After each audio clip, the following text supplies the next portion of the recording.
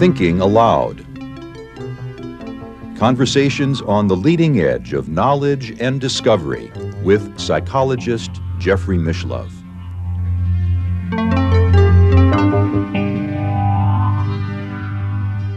Hello and welcome. I'm Jeffrey Mishlove. Today, we'll be exploring six decades in parapsychology. With me is my old friend and mentor, Dr. Charles Tart, who is an emeritus professor of psychology at the University of California at Davis and also the Institute of Transpersonal Psychology. Dr. Tart was one of my own faculty committee members when I was a graduate student in parapsychology at the University of California. He is the author of numerous books and over a hundred scientific papers in parapsychology. His books include the classic Altered States of Consciousness, an anthology, as well as States of Consciousness and Psi, Scientific Studies of the Psychic Realm, as well as Learning to Use Extrasensory Perception. Welcome, Charlie. Good to be here, Jeff. It's a pleasure to be with you. And uh, of course, I want to acknowledge the important role that you've had in inspiring me and in guiding me to pursue my own career in parapsychology. It, well, I don't know how much I had to inspire you. You were pretty self propelled, you know. I could give you useful information, but I didn't have to motivate you to do something. Well, you know, it was often at a distance. Mm-hmm. Uh, but but you've been a pioneer long before I got into the field. You were already famous before I got started, and uh, I think our viewers would uh, probably like to know how what brought you into the field of parapsychology, and how's it gone for the last six decades? Well. Some of my friends have kidded me that I'm basically trying to figure out how my mother did it. Almost everybody I know had the experience as a kid. Often, many times, you're in a part of the house alone and you start to do something that you probably shouldn't be doing. And from the other end of your house, your mother calls out, Jeff, what are you doing? How did she know? they think I'm trying to figure it out. I would ask her, could she read my mind? And she'd say, of course. Of course, as a parent, I know, you know, if they're quiet, they're up to something. but more accurately, I started out with a conventional religious background. Mm-hmm. My grandmother, who was all unconditional love for me, took me to Sunday school and then church. And if it was good enough for my grandmother, it was good enough for me. Mm-hmm. And then my teenage years came along, and I began to read extensively in science. I was in love with everything scientific. And I realized that a lot of what science said was the truth about the world was in great conflict with what religion said was mm-hmm. true about it. Mm-hmm. I also noticed that adults were pretty hypocritical too in terms of doing what they actually preached for you to do. Mm-hmm. So I was getting more and more alienated from my religion, more and more in love with science, but feeling something was wrong. You know, I mean, there was clearly a lot of good stuff associated with religion also. In my reading, God bless the Trenton Public Library, they had a lot of old books on psychical research, as parapsychology mm-hmm. was originally called. Trenton, New Jersey. Trenton, New Jersey, yeah. yes. Any of the who, people who've crossed the bridge there over the Delaware know it says Trenton makes, the world takes. They mm-hmm. got me. but they did the bridge for the Roebling steel. Uh-huh. But I realized from my reading that this wasn't just my personal problem. This is something that a lot of intelligent people had suffered through from the 1800s when science became a powerful force in society. Yeah. And people were horrified in the sense that religion was being totally thrown out. And where would our values come from in that case? But they got the idea that scientific method had worked very well when applied in the physical world to learn more and more about things. Could we take scientific method, the essence of good observation and logical thinking about it, and apply it to phenomena associated with religion and spirituality Mm-hmm. and start to figure out, oh, yeah, this is about something real, although we're not so sure about the theory about it, the doctrine. Uh, this part of it does look like total nonsense. We can let that thing go. Mm-hmm. That has been the central theme of my career since my teenage years. Where mm-hmm. teenage years it was mostly reading about it, and then it's been active experiments in mm-hmm. many ways, writing, thinking, and so forth. How can I take the essence of science and use it to clarify what's there in spirituality? Now, I'm going to talk about spirituality now, because I understand that spirituality means somebody has some overwhelming experience and they start talking about it, and pretty soon there are committees that turn what ex- they experienced into doctrine, and uh, then you get into the whole sociology of religion, which I'm no expert on. But there are s- experiences people have, like near death experiences, that have profound spiritual implications for people. How much of that is based on a reality? Conviction alone isn't enough. Okay, just because you experience something very intensely and it's obviously the truth, well, that's what you experience. Don't not don't not count that. But that doesn't necessarily mean it's true about the world. So yes, parapsychology for really 70 years now, from my teenage years on. Well, what drew you specifically into uh, parapsychology research? Because combining religion and science could have brought you into philosophy or religious studies or just conventional psychology. Something drew you to the paranormal. Well, the the drawing to the science part of it was partly was that I loved gadgets. Mm-hmm. I was a ham radio operator. I learned so much electronics. I was able to pass federal tests for a first class radio telephone license and work my way through college working at radio stations and the like. So science had gadgets. That was mm-hmm. really important. And as I got older in life too, I learned that talk is cheap. Okay, and, and I learned it the hard way. For instance, in my 30s, I got real interested in the Japanese martial art of Aikido and mm-hmm. arranged for a black belt instructor to come up to UC Davis and teach it. And I was the advisor to the student club, so I got to train in it too. Mm-hmm. And I discovered in about three weeks I could explain the martial art of Aikido much better than my black belt instructor. He only had high school education. I could compare it to philosophy and scientific developments and physiology and all that, except I kept noticing I couldn't actually do anything and he could toss me across the room with his little finger. Something was not computing here. It took mm-hmm. me years to realize there was a different kind of knowledge there. And just talking good is not enough, mm-hmm. right? I, I think I had a black belt in talking by the time I was 12, mm-hmm. and that's nice in some ways, but part of my main spiritual and psychological growth discipline in life is to not be carried away by clever talking, even when I'm the person doing the clever talking. Well, you got uh, associated with Dr. Andrija Puharich back in the 1950s. He had the Round Table Foundation, as I recall, up in Maine.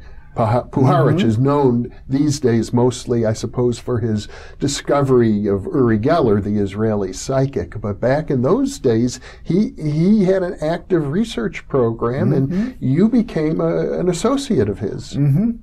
Yeah, 1953, I went off to college, MIT. I thought I was going to be an engineer. Uh, that was ended by math, which I don't have that much of a talent for. But being in Boston, I went to a number of lectures by parapsychologists, including Puharich, and Eileen Garrett, particularly that world famous medium who started the Parapsychology Foundation, talked about the research support they had given Puharich and that he had an electrical technique which could amplify extrasensory perception. And of course, that got me really excited. Uh, an electrical gadget, I understood electrical gadgets. And the problem with ESP research was that when you try to study it in the laboratory, it's generally so weak and unreliable, it doesn't happen too much of the time. Happens enough to show that it's real, but you can't produce it on demand, and then it's liable to be kind of statistically significant, but it, doesn't really convince you that something real is happening. we had a psychic research club that we had founded. We had Puharich come down and talk, and I was fascinated mm-hmm. enough by what he'd done to mm-hmm. say, I need, I need a summer job to earn money for college. You've got a position open. So he had a research assistant position open. I earned a dollar an hour, which I thought was pretty good back then. Yeah, back in those days. A dollar an hour and room and board. Hey, that was all right. Uh-huh. So I spent the summer at his private research foundation in Maine. That was charming. Mm-hmm. It was charming because it was a beautiful place. I'd never been in Maine before. It was an old mansion on the coast. Uh, the taxes had become too much for rich people to keep it, so they gave it to charitable places. Uh-huh. We had all sorts of interesting psychics visit. Morey Bernstein, the guy who wrote The Search for Bridey Murphy, was there a lot. Mm-hmm. Peter Hurkos, the European psychic, was there. But I was especially interested in the Faraday cage research that was supposed to help ESP. Mm-hmm. Now, a Faraday cage, okay? Your car is a kind of inefficient Faraday cage. It's inefficient because it's got a lot of openings. If it was a solid metal box, then if you were struck by lightning on the outside, but you were inside this solid metal box, you wouldn't feel a thing. Yeah. It's, it's, the property of, of this kind of electrically conducting box that all the electricity stays on the outside. That's interesting. So you're shielded. You're shielded, yes. Yeah. You're very thoroughly shielded from anything and, electrical. And the idea for parapsychology research, I suppose, is it prevents any uh, kind of electromagnetic signal from being the source of ESP yeah. if ESP is evident. And that was important for a few people, but I think by then there was already more than enough evidence to show that whatever ESP is, it's not electromagnetic. Mm-hmm. It doesn't fall off with distance, for instance. You can't detect it with radio receivers. Uh, but it was, it's an interesting, it's, and it's a scientific looking mm-hmm. environment. Well, Puharich made all sorts of experiments with Faraday cages. And his two most basic findings were that if your Faraday cage was electrically insulated from ground, right? He had a six foot metal cube with a door in it and it sat on glass blocks, which mm-hmm. does not conduct electricity. Mm-hmm. If you tried to do an ESP test with one person inside that way and another person outside somewhere, they generally scored a chance. It's mm-hmm. like this electrically floating, as it was technically described, Faraday cage blocked ESP. Oh. But if you connected the Faraday cage to the earth, to a six foot rod driven into moist ground, ESP was better than under ordinary room conditions. He had an amplifier and he had a shield. And that was really exciting. Mm-hmm. He had a third condition too, where you pump this Faraday cage up to about 5,000 volts with respect to ground which also amplified ESP, but that was getting a little too exciting. Now, you independently replicated some of these studies later on, didn't many you? years later. Yeah, I replicated the basic one. There were many mm-hmm. variations that I didn't have a chance to do. Yeah. The thing that was lacking in Puharich's work was that it wasn't double blind. Mm-hmm. That is, if you know that somebody's doing something special for you in an experiment, that can psychologically alone change your performance. Mm-hmm. And so, you know, he knew, Puharich knew when he was changing these conditions, the subjects often knew. But I was able to do it years later where the experimenters and the subjects did not know what the electrical conditions were. And I didn't have the advantage Puharich had of having subjects to work with who'd already could demonstrate significant ESP scores in matching tests under mm-hmm. room conditions. I had to use college students, but these were highly motivated people in my experimental psychology class. And we got the effect. Mm-hmm. When my Faraday cage was electrically floating, they scored a chance, and when it was grounded, they scored above chance. It was a small score, but it was big enough to be statistically significant. Mm-hmm. So I figured I'd basically replicate it. Now, this goes on to the crazy part. Because, you know, even back in 1957, when I worked for him, I said, why isn't every parapsychologist in the world, all dozen or two dozen of them, doing this same sort of research? Because if we could amplify ESP, we'd take a huge step forward. Yeah. You know, I used to use the analogy that our understanding of ESP then was like humanity's understanding of electricity had been for practically all of human history. You had lightning flashes, boom, and it was all over. And you had memories to work with, which might mm-hmm. be accurate or inaccurate and so forth. Well, you know, we have these deathbed visions and things like that, but you can't get very far with that. You also had static electrical effects. Sometimes, if you rubbed a glass rod with some fur, you might be able to pick up a feather. And it didn't always work. Yeah. You had these very weak, unreliable effects. That's what our laboratory mm. effects are like. Up until Ben Franklin came along. Right. And showed that, you know, lightning was indeed electricity. But what really changed was when the Italian Volta invented an electrical battery. Mm-hmm. Now, it was nothing compared to lightning, but it was a steady electrical current, and you could experiment with the properties of electricity. And in no time at all, on a mm-hmm. human history time scale, we have video, audio, all this mm-hmm. wonderful stuff. We need the ESP battery. It looked like the Faraday cage could do it, but nobody else was replicating You're after work. half a century. You're the only one who even tried That's to replicate that study. That's right. Uh-huh. Well, Puharich published a book long ago called Beyond Telepathy.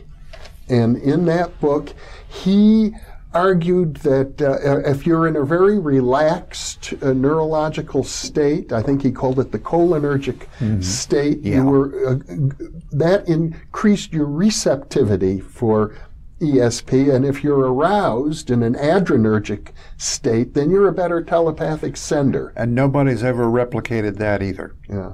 But it, it does seem to correlate well with the anecdotal literature. Yeah. And, and it also, I think there have been many studies uh, uh, correlating relaxation techniques, hypnosis, meditation, and so on. Well, the anecdotal literature it would fit with real well is you're in the process of being horribly murdered, so you're pretty aroused in an adrenergic state, and your mother a thousand miles away is asleep and she's very relaxed in a cholinergic state, and she has a dream in which you appear or something. Yeah. But again, that's a little hard to experiment with.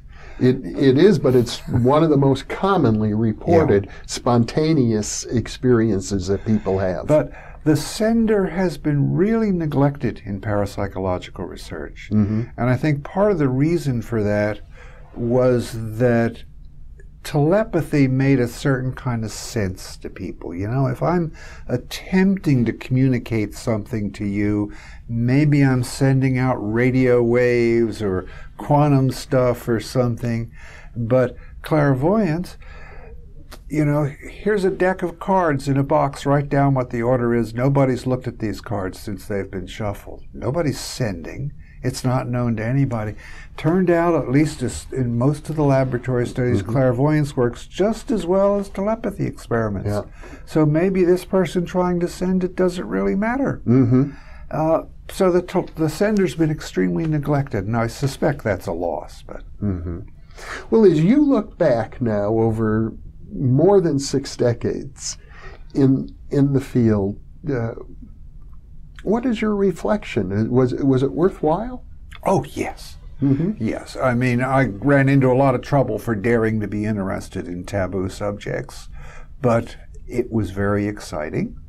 Um, I'm not, we're not up to the stage where our knowledge of the spiritual and the psychic sense is so advanced that we can say prayers by Baptists are answered more often than prayers by Buddhists. uh, don't know if we'll ever get to that stage, but there is enough evidence that I feel I can say quite confidently as a scientist that the human mind is more than the human brain. That the mind can sometimes reach out, we can call it mm-hmm. telepathy if people seem to be intending to reach it, can sometimes reach out and just pick up information about distant things, mm-hmm. call it clairvoyance, sometimes reach into the future and correctly identify stuff that hasn't even been determined yet. Um, the evidence for that is overwhelming. I hate it. It cl- precognition makes no sense at all to me. You know, I think now is now, and the future hasn't happened yet. But uh, the evidence compels me as a scientist to say it happens. Now, and didn't you also do, if I remember correctly, a very interesting study showing that pre- precognition scores fall off the further distant in time the target is? I did do such a study, and then later somebody pointed out to be a possible flaw in it, so I added a note to it saying, "Don't take this too seriously." Uh-huh. Uh, it it makes it seem more like physical stuff that we know. That the Yeah. greater the distance, the less it should work. I don't know that that's true Oh, actually. okay. And I was I'm not wasn't motivated to do that. The own the main reason I have to accept clairvoyance is in some of my own research on ordinary telepathy, present time stuff. Somebody now is sending, somebody now is trying to receive. I discovered massive amounts of strong precognition effects mm-hmm. that actually gave some clues as to how ESP may actually work as an information carrying system. And I was shocked, but there it was in my own laboratory data, mm-hmm. very strong. So. Now, you've published, uh, to my recollection, well over a hundred scientific papers. in Yeah, a couple hundred actually. in I'm, I'm proud of that. In parapsychology, no, we'd probably go back to a 100 there. Yeah. Because, you know, I only give about a third of my time to parapsychology. You were also very active in transpersonal psychology, and you wrote a fascinating book called The End of Materialism, in which you, you basically use the data of parapsychology to argue for, I guess, what would be a, a dualist philosophical perspective. That uh, you're, you're saying we cannot explain this data uh, using a, a materialistic metaphysical framework. Right. That's that's what I was starting to talk about when I said, you know, thinking the mind is nothing but the brain is just factually incorrect. We don't know how a brain can produce consciousness in the first place, uh, although people promise it. Philosophers long ago named this promissory materialism. You know, someday they'll explain it in terms of the brain functioning. We can't disprove that. Someday they'll explain it in terms of little green men in pink flying saucers. You can't disprove that statement either. But I wouldn't hold my breath waiting for it. Mm-hmm. So here the mind has got three ways of getting information about things at a distance and things in the future. And also the mind can sometimes by intention alone reach out and change things. Psychokinesis or telekinesis. Mm-hmm. Well, that sounds like a mind then, for instance, that maybe it could survive the death of the body. Mm-hmm. Now, you know, we're a long way from checking the reality of heaven, and I don't know what the ultimate limits are, but I now tend to look at all religions, and especially the, the purer spiritual traditions behind them, as people had things happen, some of which were real psychic phenomena, and they've come up with explanations for them, which turn into religious doctrines. Which, Yeah. That's where the science stops. Fortunately, in science, you have to understand your explanation is always subject to retesting and change. Mm-hmm. One, many a wonderful theory has had an inconvenient fact come along and die quickly and so forth. But religions turn into doctrines, and you must not question this, or you'll go to hell. That, that to me is a real inhibition of our spiritual mm-hmm. possibilities, because I think we can learn so much more about this spiritual aspect of mm-hmm. human beings. Well, it's largely establishment academics and establishment scientists who feel threatened by parapsychology. But what you're saying is that it also has implications for the theologians of various religions. Mm-hmm. And I suspect theologians are even more resistant than academics. Because by the time you come a theo- become a theologian in a particular tradition, you know some doctrine inside and out, and part of your job is defending and clarifying that doctrine. Mm-hmm. You don't welcome something that simply may not do that. Let me give you an example, okay? Okay. this is something we should have a lot of data on, but we have only just one small beginning of it. In Buddhism, they believe in reincarnation. Hmm. That's okay. We have a lot of kids who remembered previous lives. That's very interesting material. I'm not sure there really is reincarnation, mm-hmm. but let, let's assume it happens, okay? There's another doctrine in Buddhism that says it's extremely difficult to be reincarnated as a human being. Hmm. You have to be very spiritually advanced, have very good karma to do that and not be reincarnated as an animal or in some other mm. realm and so mm-hmm. forth. So hardly anybody gets reincarnated as a human being that maybe once every thousand incarnations. I know the Buddha something. himself uh, talks about his Yeah. previous incarnations as animals. Right, and then mm-hmm. they, then they were all humans for a while. But okay, okay, that's an interesting doctrine. Okay, so I made a prediction from that. I said, okay, my colleagues at the University of Virginia have several thousand cases now of kids who remember previous lives. Yeah. How many of those previous lives were people that we would think would be spiritually advanced? Monks and nuns and mm-hmm. yogis and so forth. Well, I got them scratching their heads. How They hadn't thought of looking mm-hmm. at that.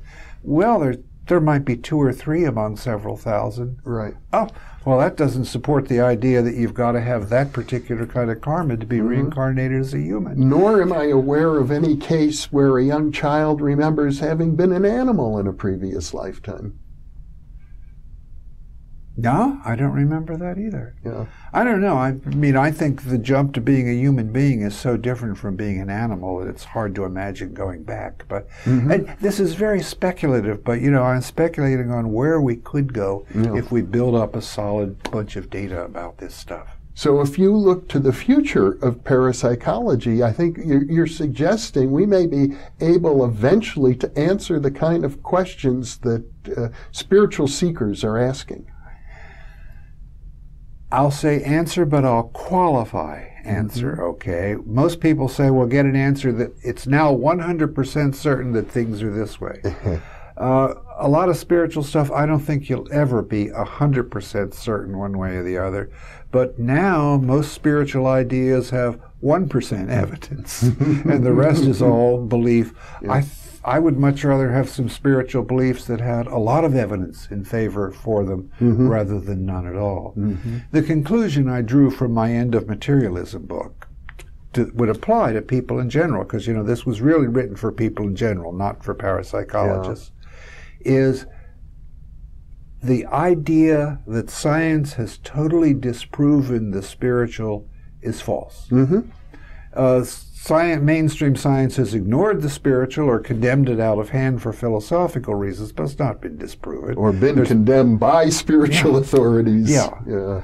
Second, then, the idea that there may be some reality to spiritual effects is supported by parapsychology. Mm-hmm. Okay? Again, which many of my colleagues don't like because they want to make it more like physics because Yeah. there'll be less opposition that way. So the, it's reasonable to be both scientific and spiritually inclined in your life. You still need to exercise lots of discrimination in both those areas because there's mm-hmm. nonsense all over the place. But you know, you're not crazy automatically just because you think there's something to the spiritual. Mm-hmm. And a lot of people have been taught that and suffered a great deal because of it, and it's a real shame. Dr. Charles Tart, what a pleasure to have this half hour with you. Thank you. Thank you, Jeff. And thank you for being with us.